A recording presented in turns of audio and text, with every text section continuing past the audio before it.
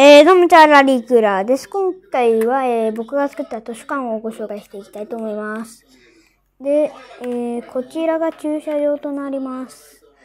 駐車場がこっちにも2個あるんで、こっちが2個で4個、合計で4個。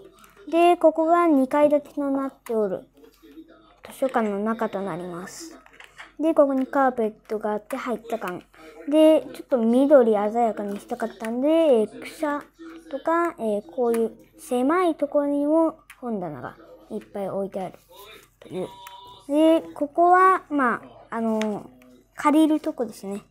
はい。で、ここが店員さんがいる、こういう感じでいらっしゃいませっていう感じ。店員さんっていうかなんか、職員？うん。で、ちょっと、あの、貸し出し中っていうか、なんかこっちにも、あの、本棚があって、あの、あっちには、こっちにはない本があるという感じですね。あのなんか、ああいうのあるじゃないですか。なんか機械で検索して出てくるやつあるじゃないですか。あれで、あの、こっちにはないやつが、ここにあるっていう感じですね。で、ここもいっぱいあるっていう感じですね。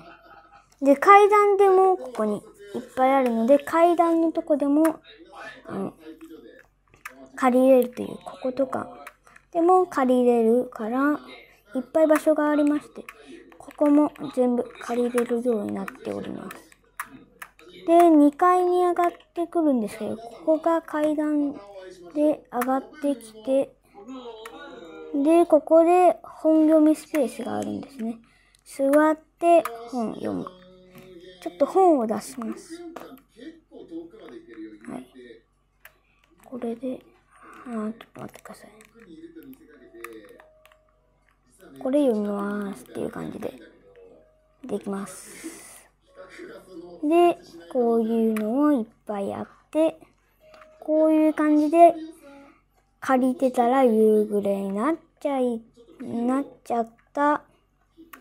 で、この本をこれで、はい、わかりました。この本は、えー、3000円となります。で、ここで帰るかとなって、まあ、終わりっていう感じですね。もう夜になっちゃいましたけど、あ、ちょっと。で、望遠鏡をこうやってやるんですね。えー、っと、これで朝9時から夜8時までやっておりますという看板がありますね。